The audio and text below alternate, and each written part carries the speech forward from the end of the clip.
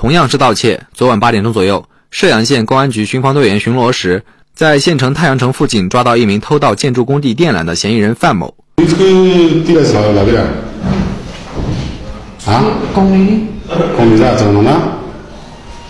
我手机的，啊，弄几十块钱？没有。有卖就有买。警方随后顺藤摸瓜，抓到了收购铜丝的嫌疑人张某。人家案件不打获，偷的是老板把那个钱外来的，让自己人手里溜。虽然声称自己并不知道铜丝是偷来的，但买赃证据确凿。目前，两名嫌疑人都已被警方控制，案件仍在进一步调查之中。